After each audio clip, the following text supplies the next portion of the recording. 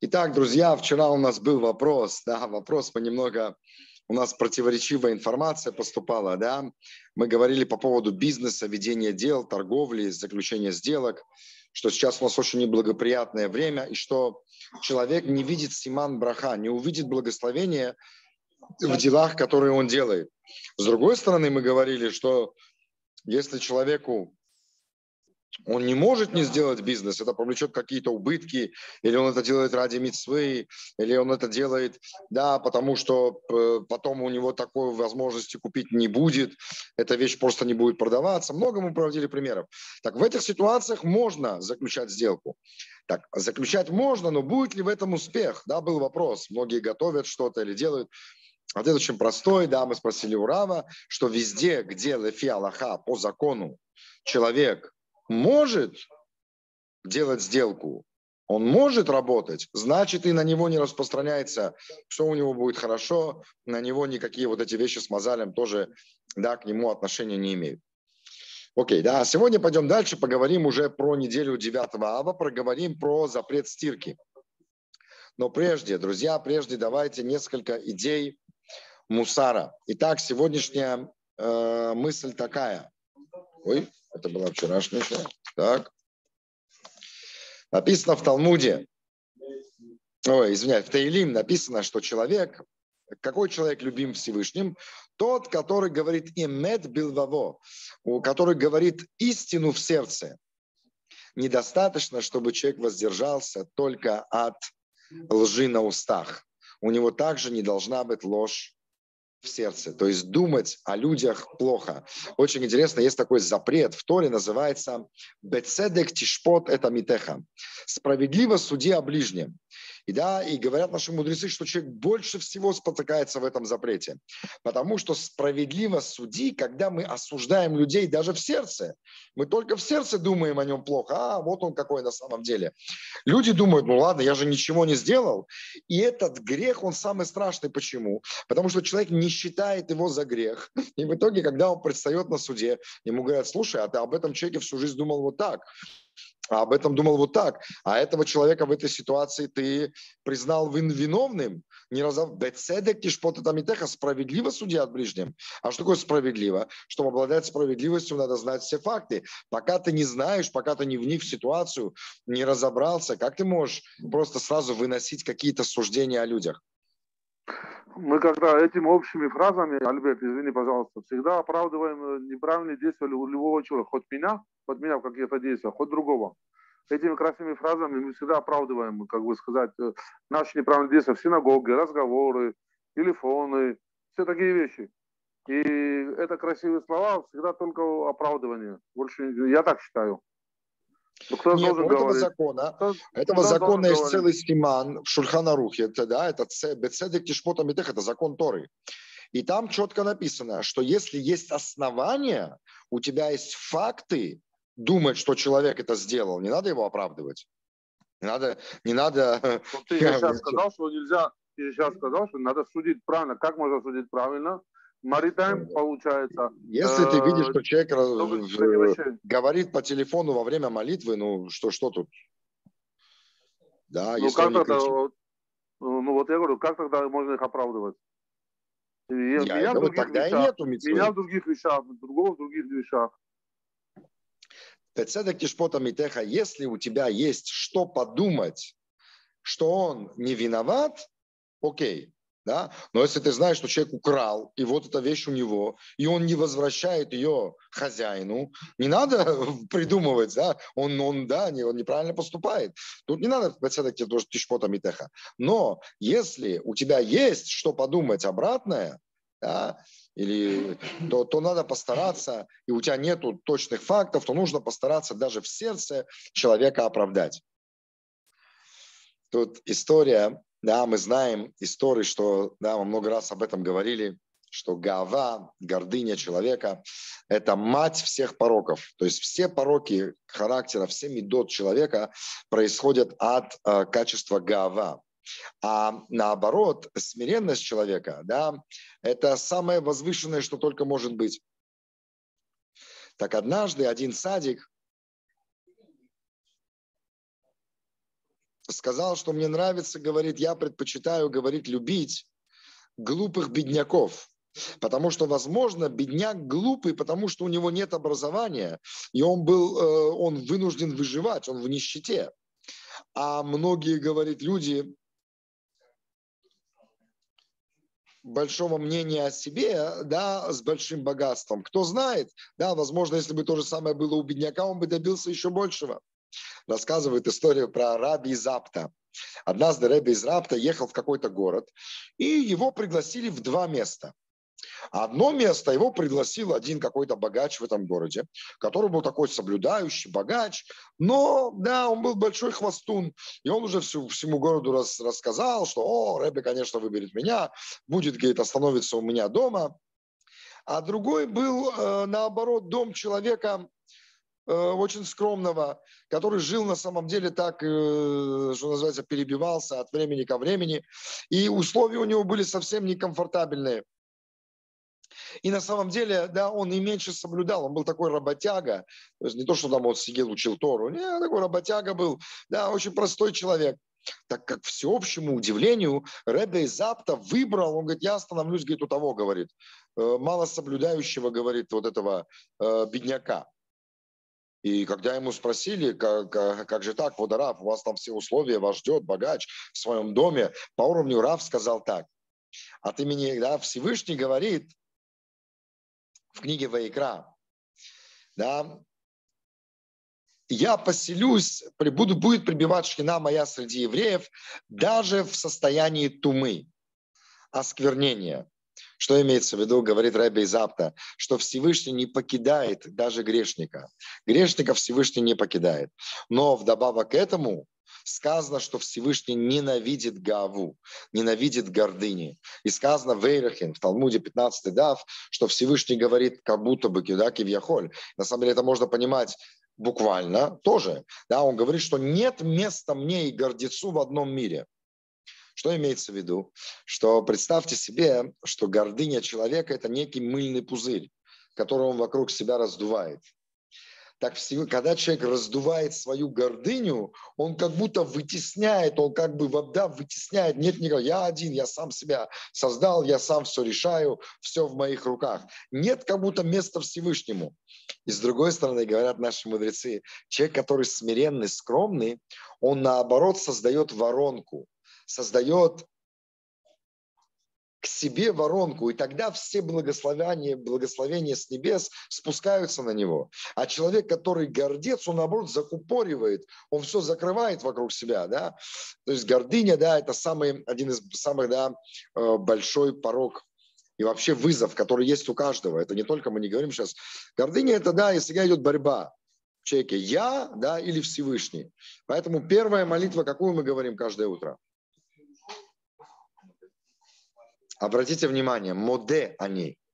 Не они моде. Обычно говорят, я благодарю. Благодарю я. То есть моде они, они второе слово. Второе слово «я» – это последняя буква алфавита, тоже надо знать. Да? Мы не ставим «они» на первое место. Мы не хотим, чтобы со слова «я» начинался наш день. Наш день начинается со слова «благодарю», да? «моде». Это первая идея. Вторая идея Однажды у одного богача из рук выпал сидур. Тот сразу поднял его и поцеловал. А рядом все это видел Раби Моше Баян. И он ему так сказал. Он говорит, ты должен знать, что у Сидура нету чувств.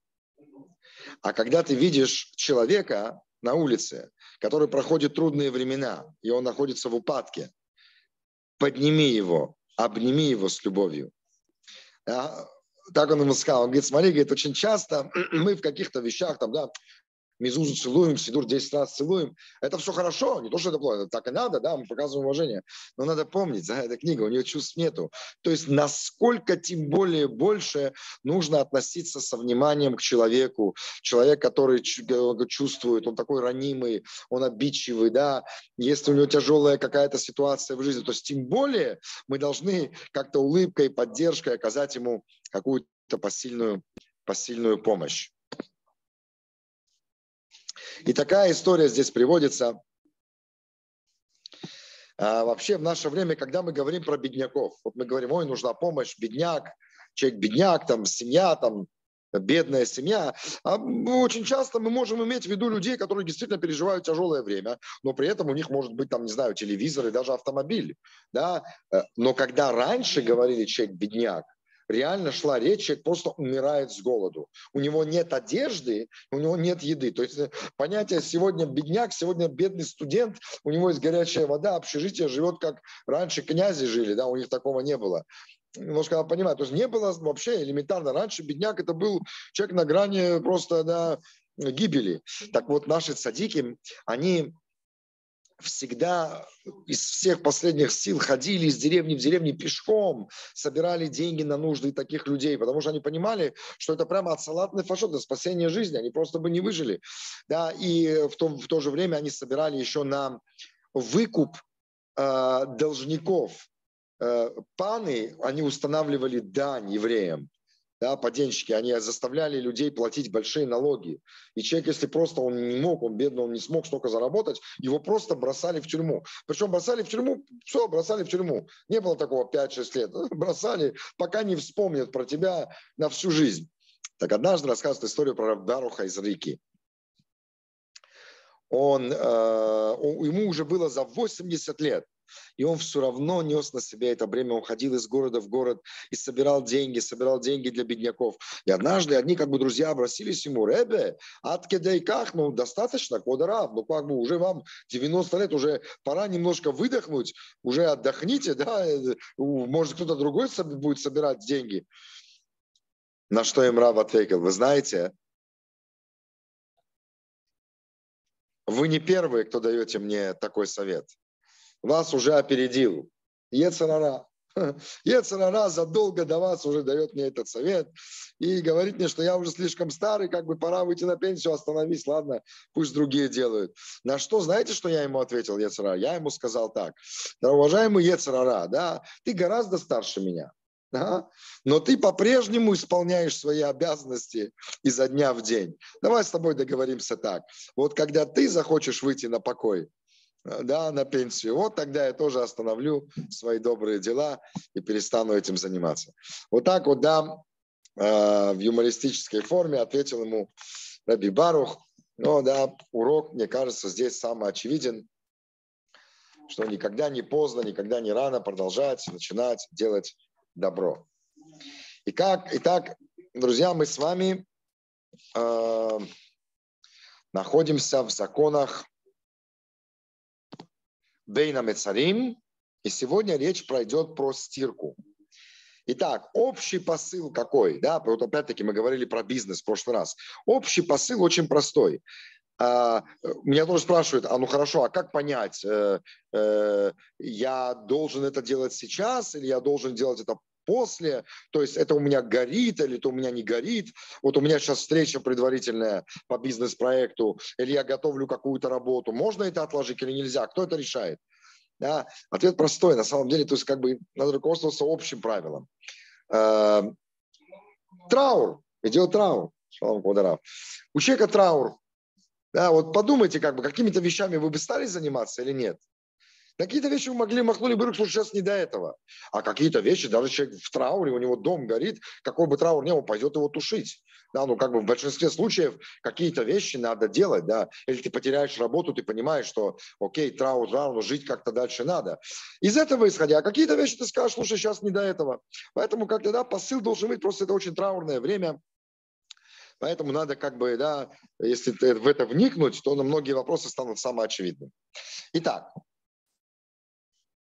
есть таканат хахамим, то есть мудрецы вынесли такое постановление, что Бешавуа Шехальбо, то есть неделю, на которую выпала 9 ава, запрещена стирка. Да, запрещено стирать. Это еще в Талмуде написано, говорится, они, да, они делают, э, не стирают вещи. Это очень мало, да, это только неделя, на которую выпала 9 ава. Так вот, это один из видов выражения, опять-таки, того траура, по которому мы с вами говорим, авелут.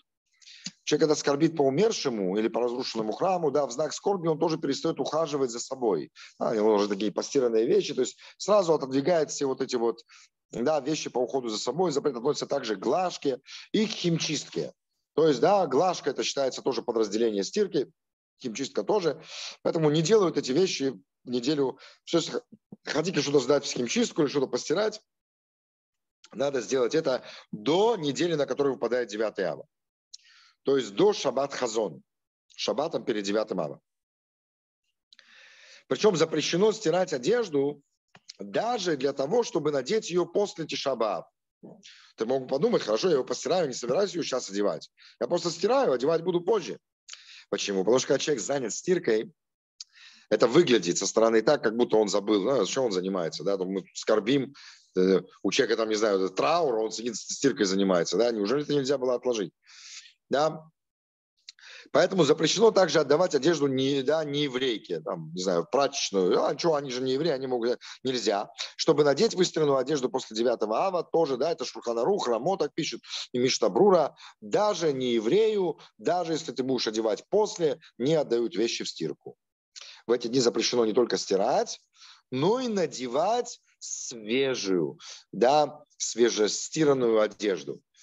Да, и поэтому даже сейчас будем учить, может быть, не знаю, сказано это здесь или нет, но увидим, что да, надо сделать вещь, вещь как-то не новой, чтобы одеть чистое, накрахмаленное, не принято одевать в эту неделю, ровно как и стелить чистое постельное белье или класть новые э, садины, новые скатерти на столы полотенцами, какими-то там салфетками, то есть какими-то новыми, какими-то чистыми вещами, выстиранными, не новыми имеется в виду, а свежестиранными вещами.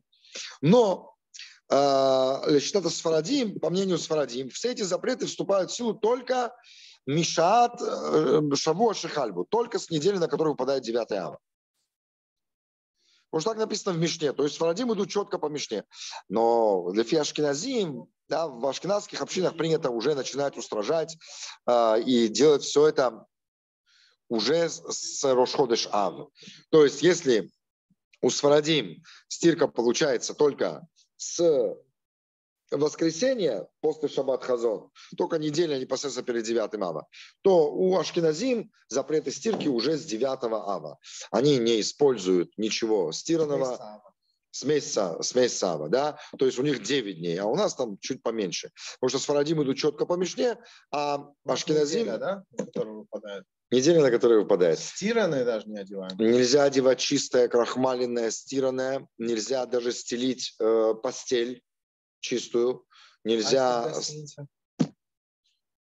Те сами они меняют. Какой хороший вопрос. Тут написано, что нельзя даже не еврейке отдавать в чистку, и написано, что это отражает твой траур. Что, а э, какой вопрос был? Какой вопрос был? А Сэм говорит, если ты в гостинице, тебе и так, и так все меняют. И мне кажется, если это твое выражение траура, то есть что выражается? Почему это нельзя делать? Потому что ты показываешь, что я перестаю ухаживать за собой. То есть правило очень простое. Да, да, не дай бог, представить человека во время траура ты бы там, и человек занимается стиркой, слушай, тебе сейчас до стирки что не мог там, да, раньше, тем более мы знаем, когда это происходит. То есть не, не, не гоже, поэтому, мне кажется, даже, даже в отеле лучше повернуть эти три дня, да, чтобы к тебе не заходили. Ничего, стелить самому кровать, не делать, не крахмалить. Все сделать заранее, заранее все сделать и, да, несколько дней полежать. В отелях мы на самом деле как бы, да, живем лучше, чем дома. Дома не, не меняем мы белье на кровати каждый день да, а в отеле такая услуга как бы есть. Поэтому да, можно как дома сделать да, э, эти несколько дней потерпеть. А как мне одевать именно стиранное в рад? Вот, то есть как в чем ходить тогда? По сути, да? Мы сейчас увидим, что нужно потоптать, нужно поносить несколько дней, чтобы ты мог это потом одеть. Да? То есть, чтобы не было накрахмаленное такое вот прямо новенькое. Да? Э, нужно готовиться к девятому. Сэм, это такое, надо готовиться. Возьми, поноси сегодня четыре рубашки и повесь их обратно. И они уже не называются новыми. Вот у тебя висит 9 рубашек, все чистые, накрахмаленные. Возьми там э, за три дня поноси все 9 рубашек. И повесь обратно. Многие на шаббат меняют несколько раз, на шаббат меняют несколько раз одежду, и вот этим получается. На шаббат меняют? Ну да нет, в шаббат одевают несколько, несколько по, раз, разные одежды. Э, не, не, он говорит, шаббат поносить. А, есть другая проблема. А, нельзя, а, рейш самых алиф, э, что э, нельзя одевать одежду шаббатнюю в будни. То ну, есть, это второе, это устражение. А есть просто чисто шаббат мы же, мы, я, например, лично шаббат не одежду это, тоже одеваю. Это Аллаха Муфурешет. Написано про, про Якова, про Якова, э, про Стайплера. Рабьякова Коневского написано, что он на свадьбу своего сына пришел в обычном костюме и в шабатной шляпе. А сразу после шабата, даже не дожидаясь Мелавы Малки, снимал шабатные одежды. Но большинство Мефорошим говорят, что это только, э, что свадьба отличается. Потому что свадьба – это мецва больше, чем Йомтов. А Йомтов еще больше, чем шаббат. То есть одежды на Йомтов, они должны быть лучше, чем на шаббат. А на свадьбу у тебя костюм, например, например, ты купил новый костюм. Внимание, вопрос, если мы сейчас этого не знали. Когда лучше первый раз его одеть? В шаббат, в Йомтов или на свадьбу? Отложить его и одеть на свадьбу. Потому что симха, это худшее не пишет. это, на, на чужую свадьбу? Нет. Мецва, это мецва, это самех хатан Миколай, это такая мецва, шенки дугмата. И поэтому э, свадьба, окей, можно, но это большой вопрос. Если ты свой шабатный костюм одеваешь, небольшой вопрос, я даже больше скажу, нельзя. Нельзя одеть на день рождения, там, пойти на какую-то тусовку, гулянку. Надо постараться. А Ари вообще пишет, то есть это все уже облегчение. А по Аризалю вообще жестко. Носки, да, нижнее белье. Ничего. У тебя должно быть все шабатнее. То есть у тебя должно быть шабатный код. исключительно да. шабатная одежда, которую никогда в будни даже ты не одеваешь. Не одеваешь, да. Серьезно? А у тебя да, нет да, костюма, да. который ты в будни и в шаббат одеваешь?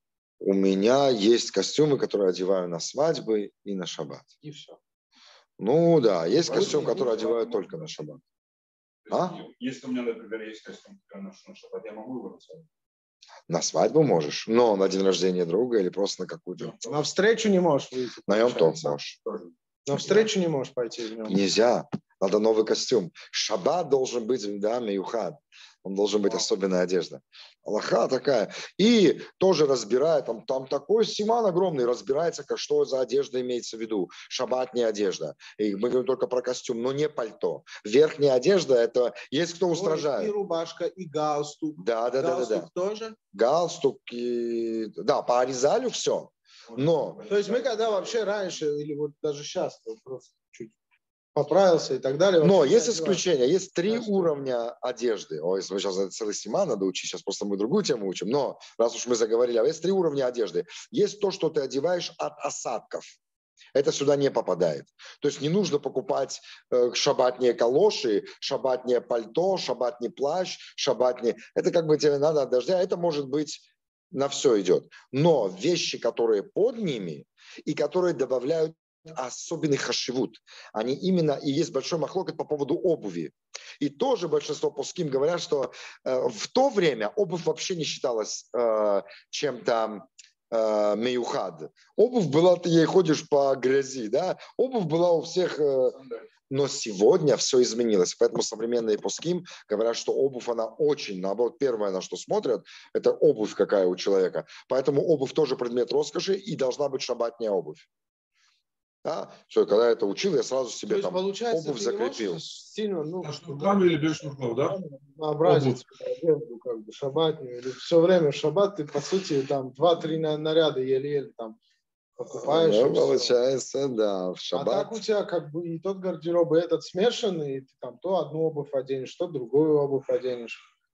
Ну да, то есть э, не э, больше кого это не разнообразие, а эксклюзивность. Чем одевать пять разных костюмов, но носить их каждый день, лучше одевать, о, шаббат не фит, аутфит. Вот он, о, сразу а же. можно принять Видите, по Рабьякову... на шаббат из той, которая уже была, ты не знал эту Аллаху, и тебе сказать, вот это у меня или надо теперь обязательно бежать, грубо говоря, и покупать? Не, я думаю, я думаю, можно. Я думаю, можно сделать миухад, особенно когда, да, мы узнали что-то. Видите, настолько по праведникам сразу, как узнали, что Рабьяков пришел? Да, все знали его шабатный костюм. Он был То есть всем четко его капот, он прям, да, это шаббатнее, это только на шаббат. Кстати, по поводу Рави он устражал, потому что многие наоборот говорят, что на Мелаве Малку нужно быть. Да, другие пуским говорят, что нужно быть на Белам Малку в шаббатной одежде, потому что ты провожаешь царицу. Он говорит, нет, говорит, шаббат, шаббат. Все это хорошо, говорит, проводы, но вот она прям шаббатня, он четко, он прям следил за тем, чтобы ничего, только на шаббат, и сразу после шаббата снимал снимал сразу шабатные одежды, они были только на шаббат. То есть мы, когда, брат, в брюках обычных, в джинсах идем на шаббат, мы как будто вообще все на свете нарушаем. То есть ладно еще костюм одеть на шаббат. Я а что если человек купил джинсы и футболку на шаббат? Они у него шаббат. у него шаббат, тогда нормально. То есть, понимаешь, окей, надо сейчас вообще одевать джинсы или нет. Вот недавно спросил нашего рава, у вас есть джинсы в гардеробе? Он улыбнулся. Окей, есть какие-то вещи, это уже ладно, это как гардероб, что одевать, что не одевать, это другой разговор. Но царица шаббат, мы одеваемся не для гостей, мы одеваемся не для там кого-то, не для синагоги, не показать, какого у меня...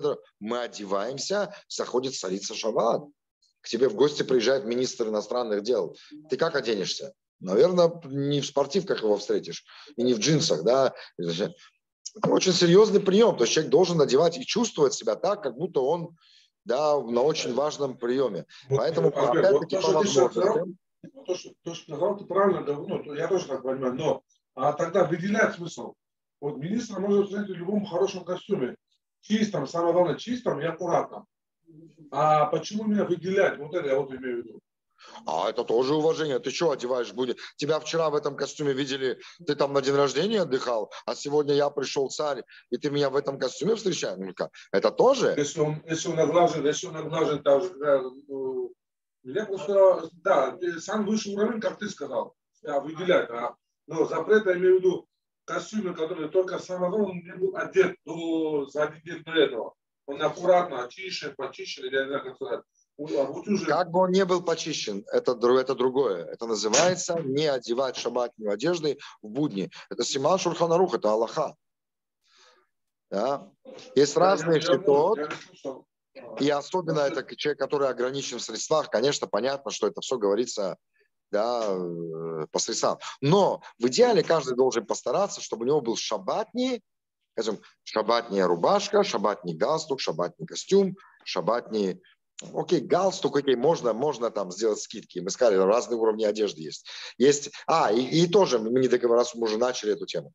То есть первое, это от осадков одежды. Ее не надо на шаббат менять. Не надо покупать шаббатное пальто, шаббатную шубу, шаббатную, это не надо. Да? Но костюм надо. И тоже белье, нижнее белье. По Аризалю все надо. Но другие пуским говорят, что нет, как бы просто стираешь носки, одеваешь. Да? Что должно быть прям вот шаббатнее, шаббатнее, только в шаббат и в другие дни не одевать, это костюм. То есть брюки, рубашка, пиджак.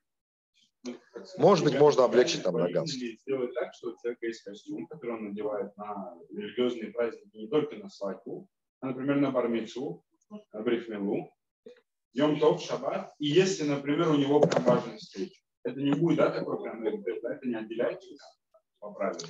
Это уже считается... Вот на эти три пункта Шаббат, Йом Тов, свадьба. Да. Стараться.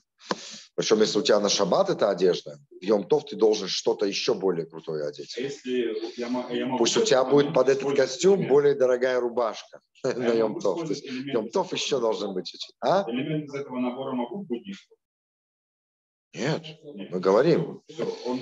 Насчет галстука, насчет э, всяких этих как бы э, э, спор. Можно, я думаю, можно облегчить. А вот э, насчет как бы рубашка, пиджак, брюки должны быть такие вот прям шабатные. Да, они должны быть и галстук, и ремень. Галстук и ремень, я думаю, можно облегчить. Как и носки, как и все. Вот опять-таки Аризаль говорит, все должно быть. Но есть кто облегчает. Да. Как, как? У Бенешхая был отдельный дворец. Поэтому. Вы слышите? Работает. Все, теперь идем по Бен Ишхаю. Но, да, окей, по возможностям, по возможностям, а, дай бог, чтобы у каждого был отдельный дворец да, с гардеробом да, на шаббат. Но пока, значит, окей, мы возвращаемся к стирке.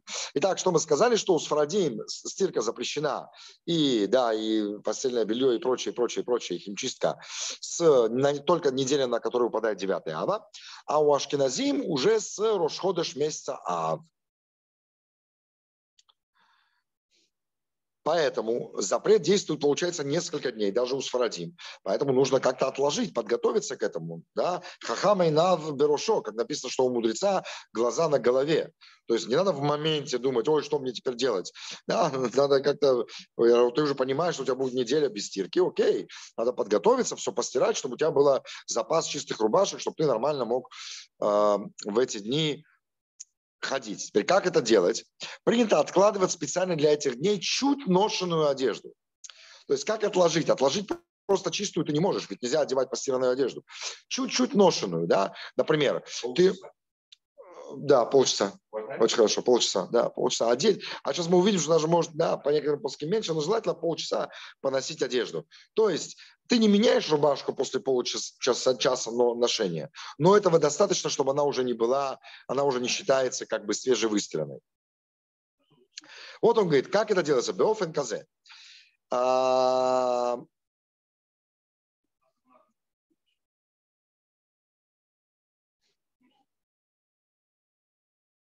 Да? Как это делается?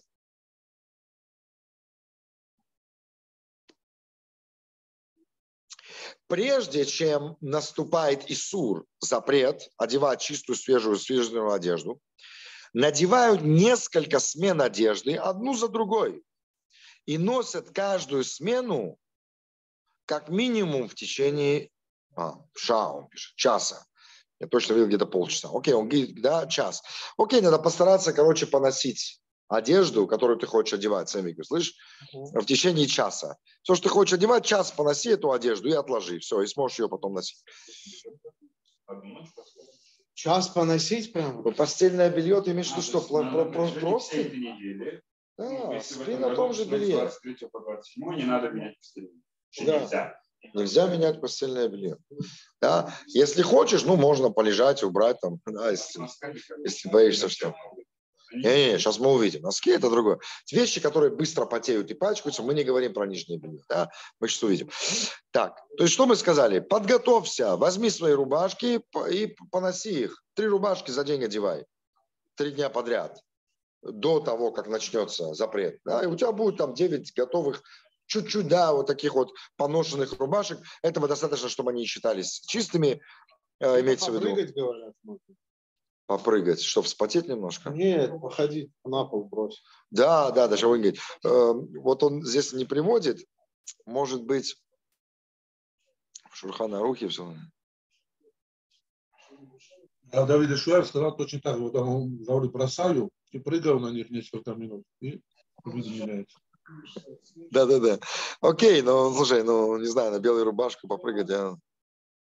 На кровать можно бросить, на кровати попрыгать, да? Или надо именно на пол ее бросить? Или в грязь ее на улице, бру, знаешь, такой, да хорош. Это уже фаталити какой-то. Ну окей, да. Да, в результате так или иначе, Что, дома, ковры, дома ковры у всех есть, на ковры просто. Вот, вот, вот. По поводу пола он говорит, это уже бешат хак. Это если человек не приготовил себя, нормально так никто не готовит одежду. Это если человек не приготовил, и он такого не могу, там, кетчуп налил на рубашку, а у меня только стиранные рубашки, что мне теперь делать? Он не может ее одеть, уже вступил запрет в силу, все. Хазон Шаббат, Хазон закон уже, его Сифардис, Лашкинас, то уже был Рошходыш Ав, что вот тогда он бросает ее на пол и немного ее потоптать. Тогда она уже будет, не будет считаться свежевыстиранной, ее можно будет надевать в эти дни. А в до шаната этого можно также потоптать? Да, зачем? Конечно. Просто... просто... носить тяжелее. Где ты переоденешься три раза в день, я не знаю, четыре раза в день. И сколько минут это надо носить? Час. Если, там, вот час это долго. Представляешь, 16 рубашек. Нет, Ты, короче, два дня выделил просто себе гардероб подготовить, запарился каждый час бегать, переодеваться. Нет, взял, Да. Все Нет, на пол. конечно работает, конечно работает. Он просто предупреждает, смотрите, говорит, «О, не надо готовиться в один день. Начинай готовиться уже сейчас. Одевай какие-то вещи, по одному, часто меняй одежду и вешай ее, знаешь, не, не бросай в стирку. Ты бросаешь в стирку что то, что ты прям ты уже заносил. А ты три раза поменяй одежду в день, и ты точно ее не хочешь просто, просто и повесь ее. И у тебя скопится целый гардероб на эти дни одежды, которую ты можешь спокойно одевать. Что он имеет в виду? Понятно, если ты хочешь бросать на пол там, и топтать, ну окей. Да, это тем более поможет, э, это даже работает в сам уже, когда запрещено, тем более это сработает до этого. Окей. Разрешается надевать чистое нижнее белье, натягивать его прямо, то и носки, и трусы. То есть такие вещи мы не говорим. Полотенце для рук, да, э, какие-то вещи, которые э, постоянно пачкаются, они в местах, где человек потеет, это мы про это не говорим. В наше время тем более принято часто менять э, все эти, да, и это не приносит человеку наслаждения. То есть, да, это не то, что одеть новую рубашку на крахмаленную, поменять трусы, это как человек из душа выходит, а совершается только ради гигиены. Поэтому это можно.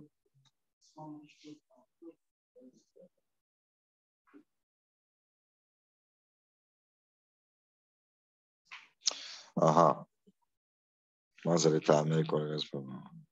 Он говорит, что так как поскольку мы не можем знать наверняка, когда использованные вот это вот белье и полотенце достигают степени загрязненности, при которой их разрешается сменить.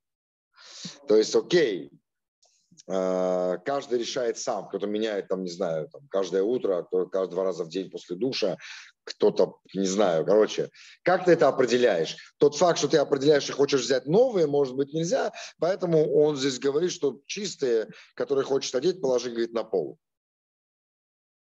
Белье и полотенце, да, брось на пол, чтобы они уже не считались свежестиранными. Понимаете, да, потому что мы помним траур, траур. Человек вообще не обращает на эти вещи внимания. Когда траур, у него полотенце висит, у него не, точно не последнее, о чем он будет думать, как поменять полотенце. Поэтому, как бы, да, лучше все эти вещи бросить на пол. И не надо топтать, бросить на пол и поднять, уже они не считаются э, свежестиранными. Теперь, что делать, если у человека испачкалось что-то? Вот он вроде подготовился, все нормально, и проехала машина, он весь в грязи. И нет у него на что поменять. Он рассчитал последний день, как раз при 9 ава, так запачкался, стыдно ему, а он не рассчитал, он думал, что в этом будет 9 ава. Стыдно ему, что ему делать? Тогда, конечно, разрешается человеку это пятно, которое у него есть, а, замыть водой, чтобы не выглядеть неряшливо.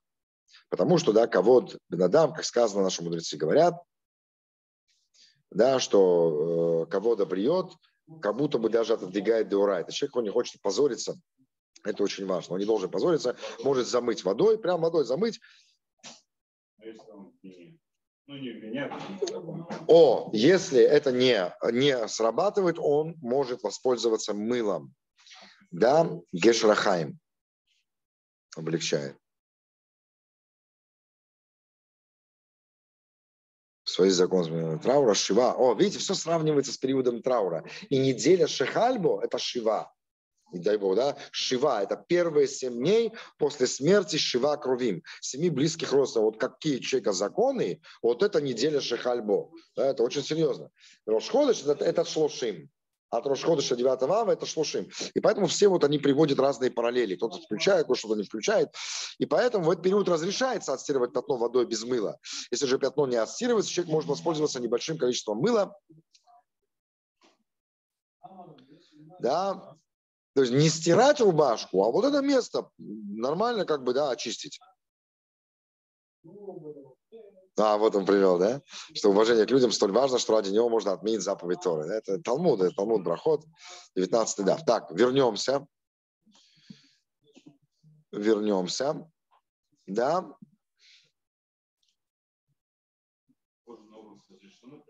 О, шабатнюю одежду нельзя одевать.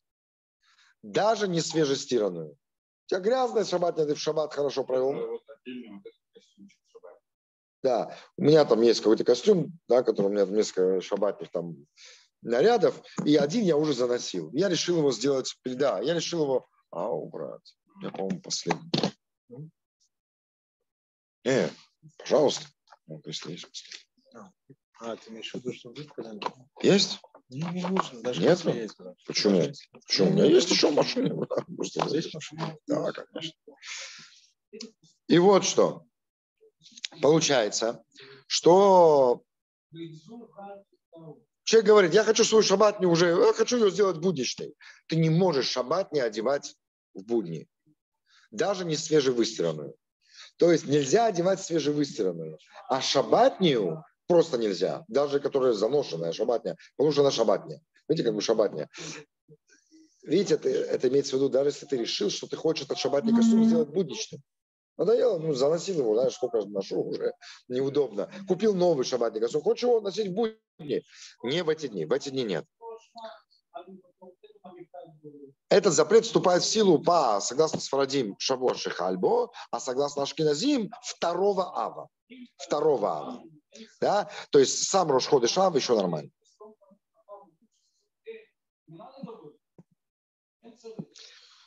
Теперь на исходе Шаббат Хазон нужно сразу снять всю нарядную одежду. Но, да, есть исключение, это Авия Бен, Сандек и Моэль, то есть, а также Хатан и Кала, кваторы, которые там, да, все, все, кто участвуют в хупе или в бритмеле,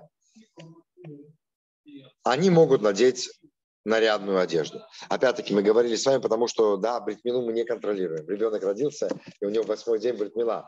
Бритмила – это мецва, это судат мецва, ничего себе, это все там мецва. Окей, это, это отодвигает все, траур это отодвигает. Окей.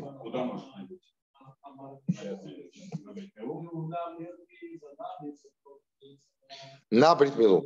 Но только те, кто непосредственно, папа, папа ребенка, сандак, моэль и кваторы. Это те, кто выносят на подушечке, короче, там, да, это тоже ашкенадский обычай, что есть такие кваторы. Ну-га, кватор. Окей, и маленький буквально симанчик, у нас время уже вышло, бу- буквально. Да, что касается детской одежды, да, там, или больницы, конечно же, да, мы не говорим про детей. Мы знаем, как наши дети себя ведут. Дети пачкаются так, что, слушай, если ты будешь, ты не напасешься на них одеждой, она будет, поэтому разрешено стирать детские постельное белье, одеяло.